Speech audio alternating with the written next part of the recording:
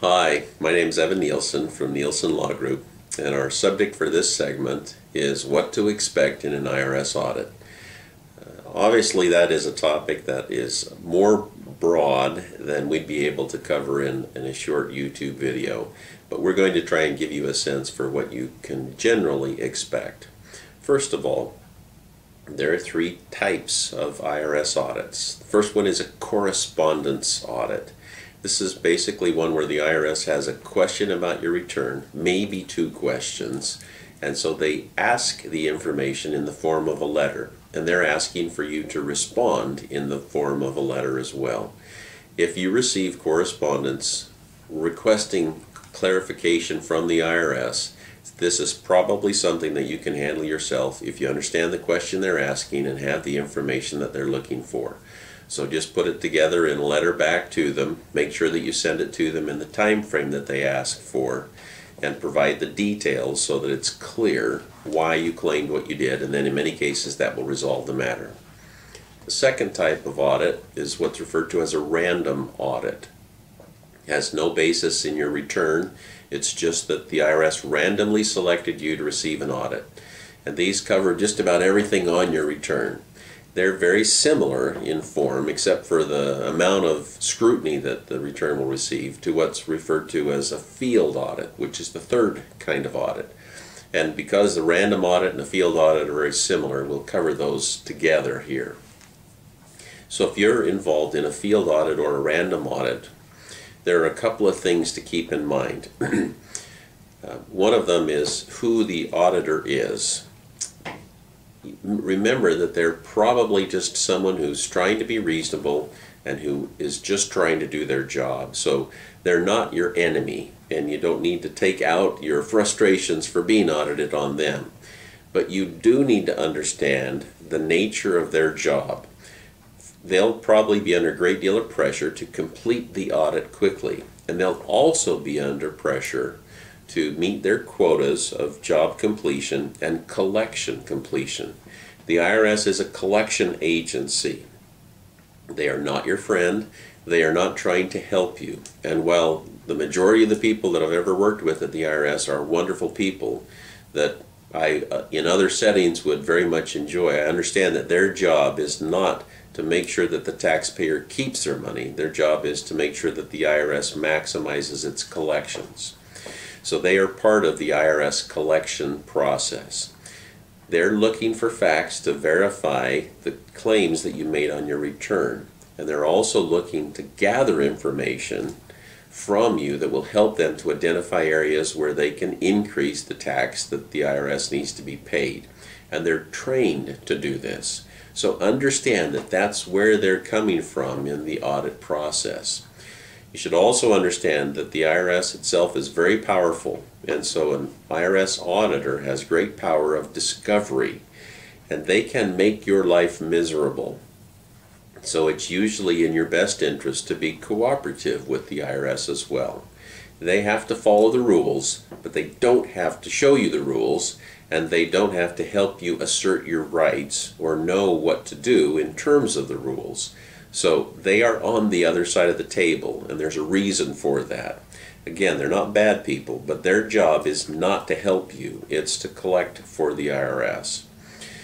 The audit itself is designed to be an intimidating process, and most of the things that are associated with it, in the eyes of an ordinary taxpayer, are designed to communicate that they would be better off to just simply agree to the auditor's claims and not fight the audit.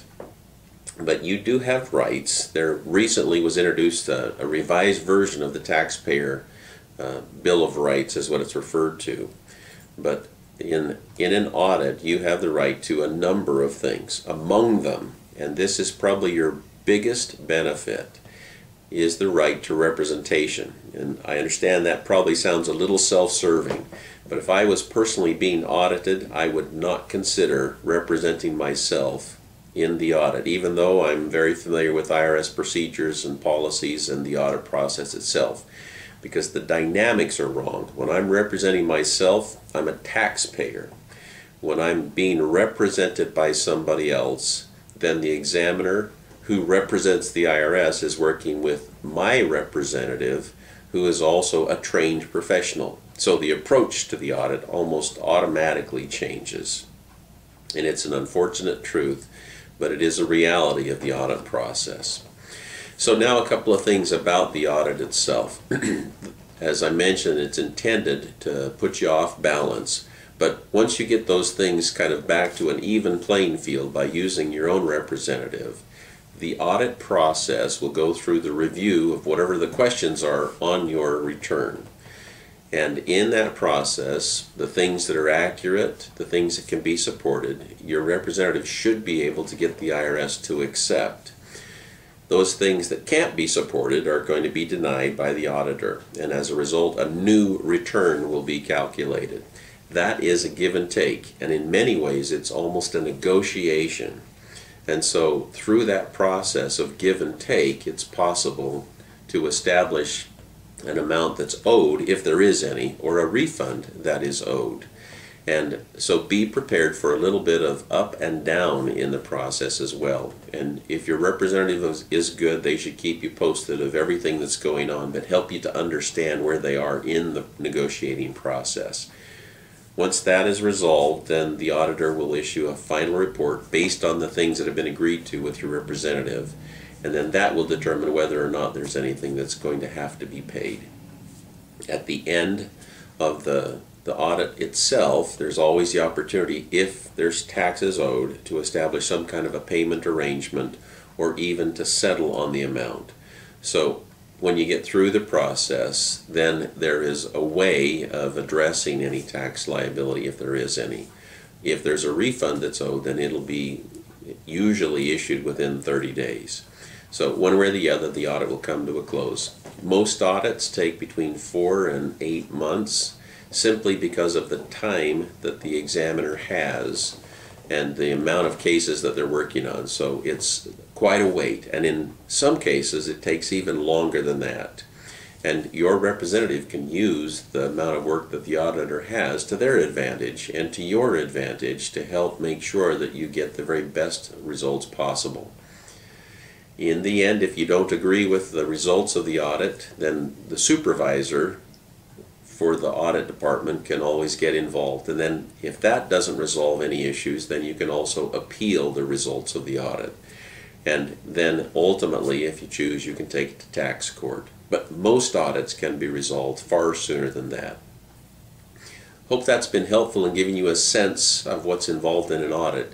And I would also say that you should always remember that while it's an uncomfortable process, in the end, it will end and it can be, in many cases, resolved in your favor. So just prepare yourself for the roller coaster and be patient, but make sure you choose a good representative and they'll be able to help you through it.